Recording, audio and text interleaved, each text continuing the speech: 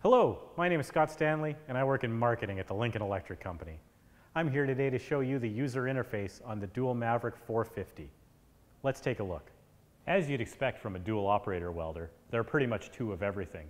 Two sets of weld terminals, two sets of 6 and 14 pin Amphenol's, and on the Dual Maverick 450, two LCD screens. The first switch you'll notice is the single dual operator mode switch. When in single mode, the right side LCD displays engine information like hours, RPM, battery voltage, temperature, and oil pressure. The maximum output of the Dual Maverick 450 in single mode is 450 amps. When in dual mode, each LCD displays each operator's control information and each operator can weld with up to 225 amps. Using the LCD screen is very simple.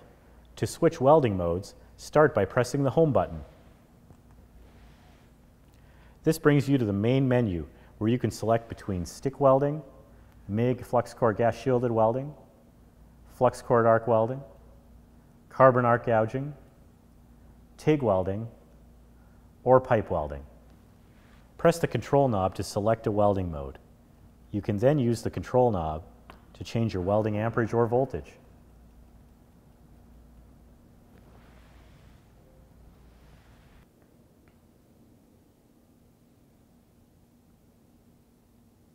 Pressing the control knob again allows you to change features like arc control, remote options, or pinch, depending on the mode you are in.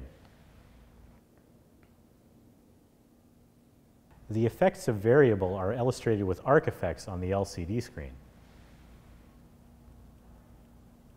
Press the back button to go back to the previous screen.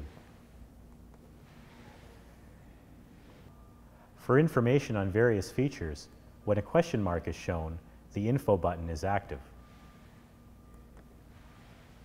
One of the most exciting features of the Dual Maverick 450 is auto stop start.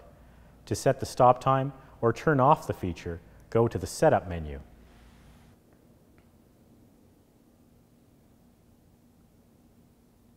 Another exciting feature of the Dual Maverick 450 is maintenance reminders.